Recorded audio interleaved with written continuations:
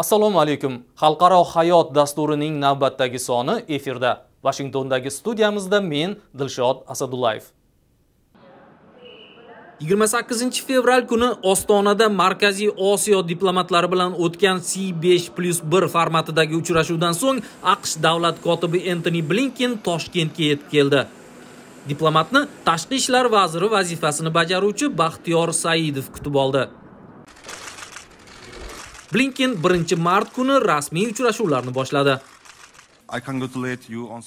Toshkentda diplomat baxtiyor saidov va boshqa rasmiylar bilan muloqot qilar ekan. Blinken ikki davlat o'rtasidagi aloqani dinamik deb baholab mirziyoyev ma'muriyatini markaziy osiyoda birdamlikni ta'minlash yo'lida qilayotgan ishlari uchun olqishladi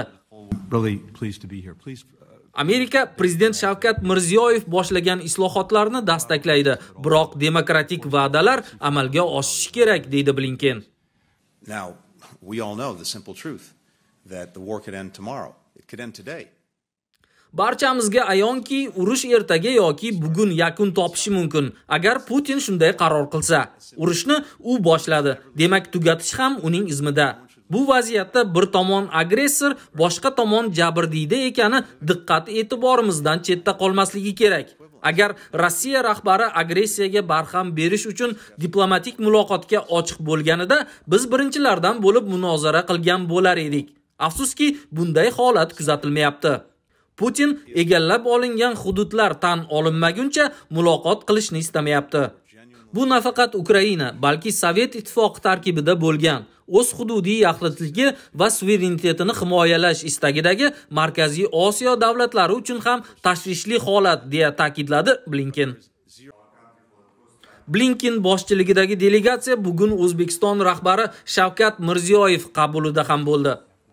Toshkentga ko'ra uchrashuvda siyosiy savdo iqtisodiy investitsiyaviy ta'lim va madaniy gumanitar sohalardagi ikki tomonlama munosabatlar hamda mintaqaviy hamkorlik muhokama qilingan.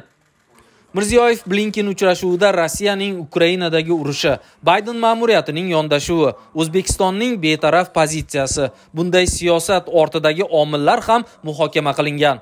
Biroq mirziyoyev ma'muriyati bu masalalarni ochiq tilga olmagan. Ukrainada urushning ikkinchi yili boshlanar ekan aqsh kongressida partiyalar o'rtasidagi tafovut kuchaygan. Ayrim respublikachilar nazdida aqsh ukrainaga o'z vaqtida qurol yetkazib bera olmagan. Kechikish urushni uzaytirib yo'qotilgan dollarlar va qurbonlar sonini oshirdi. Prezident g'alaba uchun har narsaga tayyor bo'lishi shart deydi rojers boshqa respublikachilar aqsh ko'p mablag' sarflayotganidan norozi. Demokratlar ham pulni qanday sarflash borasida turli fikrda. Xususan ukrainaga f 16 harbiy samolyotlarini berish kerakmi yo'qmi degan masalada ham yakdil emas. Adam smitga ko'ra pulni havo mudofaa tizimiga sarflash afzalroq. Hech narsa besamar ketmadi. O'ylamay netmay yordam paketini yo'llayotganimiz yo'q. Ukrainaning real ehtiyoji bo'lgan narsalarnigina ro'yxatga kirityapmiz deydi adam smit ukrain pilotlarini f 16 treningidan o'tkazish kerak deyotganlar ham bor. Avval pilotlarga o'rgataylik keyin aqsh va ittifoqchilar yakuniy qarorni beraveradi deydi lyu ukraina harbiy razvedkasi rahbarining aytishicha f 16 samolyotlari jang uchun munosib variant emas.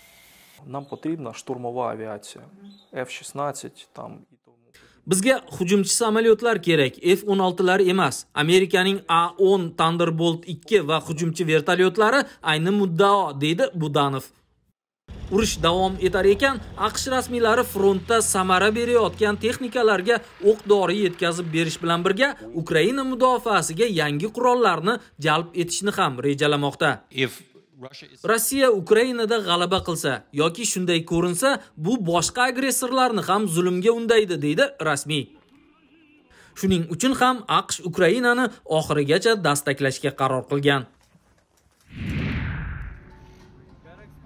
moskva ko'chalarini kezar ekansiz shahar urush holatidagi mamlakat poytaxtiga o'xshamaydi.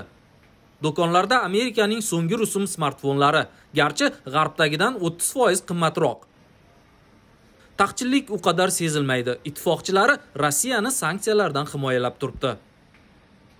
Есть четыре страны, eron xitoy turkiya va hindiston rossiyaga qonuniy noqonuniy mahsulotlar kiritmoqda deydi tadbirkor biroq sanksiyalar yirik sektorlarga zarba bergan. Xususan rossiya avtosanoatining mahalliy bozordagi savdosi 80 foizga qisqargan.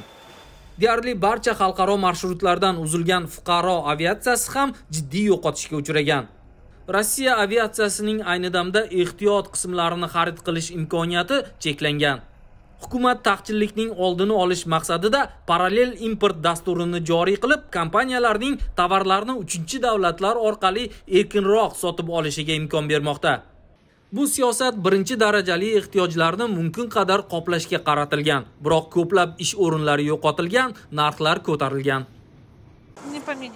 Vaziyat u qadar o'zgarmadi. Import tovarlarini topish qiyin lekin bu katta muammo emas deydi svetlana прошлом такие ситуации уже бывали.